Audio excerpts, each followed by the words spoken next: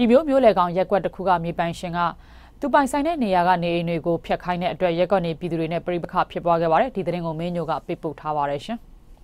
အကုန်ကိုသေဖို့တောင်ကြာစီပါတယ်ဒီလောက်တော့စိတ်တွေအမေမှညစ်နေရတာအဘောကိုဘလုံးဝမတူနိုင်ပါဘူး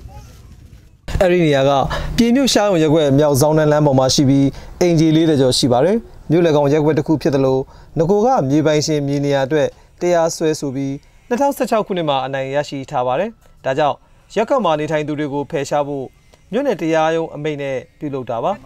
အဲ့ဒီမှာရက်ကွက်ဒေသခံတွေကအိမ်အတွင်းနဲ့ပတ်ဝန်းကျင်ကိုဝင်ဝင်မပြုဖို့တားဆီးတာတွေလုပ်ခဲ့ပါတယ်မကန်နိုင်ဘူးလားမပြတ်ချင်လို့ပြောနေတာပါအိုးမေရွယ်တယ်ပြစ်မဆိုးလို့ပါအဖြစ်40ကျော်နေလာခဲ့တာပါဆရာရဲ့ကြာကြာလေးပြောအဲ့အဖြစ်40ကျော်နေလာခဲ့တာဦးညိုနိုင်ရဲ့ထောက်ခံစာလည်းကျွန်မမှရှိတယ်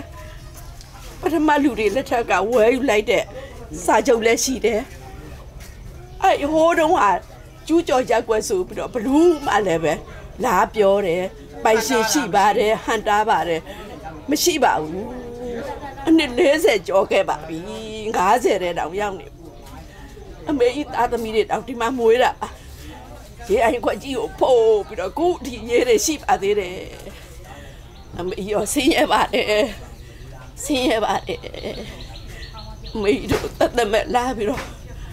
အမေတို့ကြာရအမေတရားမဲ့ကိန်းဖြစ်နေပါလားဒီဖယ်ရှားမှုကိုပြည်မြို့နယ်တွဲဘက်တရားသူကြီးဒေါ်စန္ဒာရွရုံးကပြုလုပ်တာဖြစ်ပြီးမြေပိုင်ဆိုင်မှုအတွက်အမှုနိုင်ခဲ့တဲ့တရလူဒေါ်ဖြူဖြူအောင်ကိုစတိအနှံပေးလိုက်တာပါဒါကိုတရားရုံးကအခုကြမှာအကောင့်ထဲပေါ်လာလို့တာဝန်ရှိသူက DPP ကိုရှင်းပြပါဗျာ2005ရဲ့ကောဟိုတိုင်းရုံးမှာတရားမကြီးမှုတွေနဲ့ဆွဲရတာပြီးတော့ကြားတာပေါ့လေကြားတာတော့ဒေါက်တာအောင်တို့ကဒီမြေခွက်ကိုကအမွေနေနဲ့ရလိုက် ရန်ကုန်ကနေပြီးတော့လေအမွေနေနဲ့ရတဲ့တော့ကြောင့်သူတို့လည်းသူတို့မြေကြီးသူတို့လိုချင်မှာပေါ့ကွာ